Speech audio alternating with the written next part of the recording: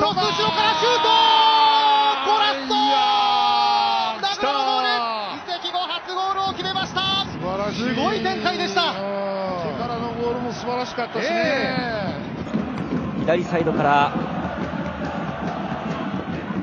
さあボールを奪い返した名倉。名倉名倉グランドボール入った点に追いつきましたまあ、素晴らしいドリブルだったですよね。それとやっぱり低い球ですよね、やってね。縦入れます。ここも細かいパスを交換する。抜け出したしっくりね折り返して最後シュート決めた